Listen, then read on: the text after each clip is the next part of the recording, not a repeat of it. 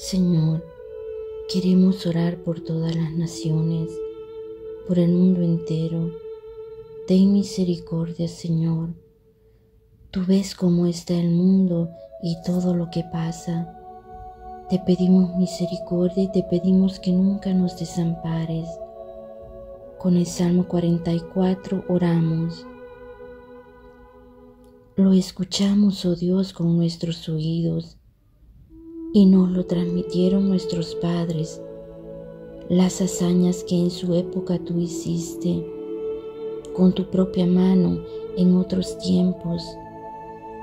Para implantarlos expulsaste a naciones y para extenderlos maltrataste a pueblos.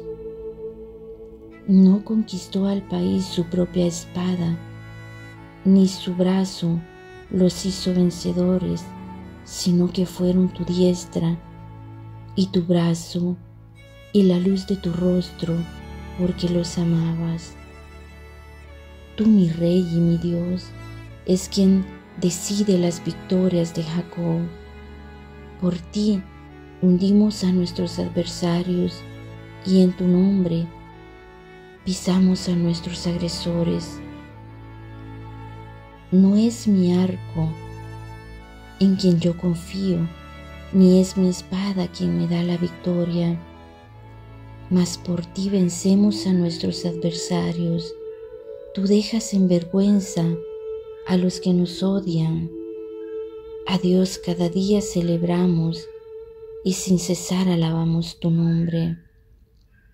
Ahora, en cambio, nos rechazas y humillas y nos sales al frente de nuestras tropas, nos haces ceder ante el adversario y los que nos odian saquean a gusto.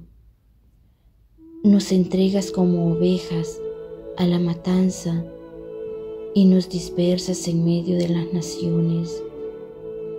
Vendes a tu pueblo por un precio irrisorio y no ganas nada con tu negocio nos haces el escamio de nuestros vecinos, todos en derredor se burlan y se ríen. Servimos de escarmiento a las naciones y los pueblos menean la cabeza. Tengo siempre delante mi deshonra y enrojece mi rostro la vergüenza al oír los insultos y blasfemias, al ver el odio y la venganza. Todo esto nos pasó sin que nosotros te olvidáramos o rompiéramos tu alianza.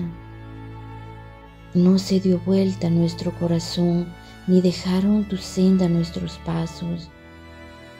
Pero nos aplastaste en el desierto y nos cubrió la sombra de la muerte. Si hubiéramos olvidado el nombre de nuestro Dios, tendiendo las manos hacia un Dios, un Dios extranjero. No es cierto que Dios lo hubiera visto, el que conoce los secretos del corazón. Por tu causa nos matan a cada rato y nos vemos como ovejas ante el cuchillo. Despiértate, ¿por qué duermes, Señor? Levántate y ven a socorrernos. ¿Por qué escondes tu cara? Olvidas nuestra opresión, nuestra miseria. Nos arrastramos por el polvo y a la tierra se pega nuestro vientre. Levántate, Señor, y socórrenos.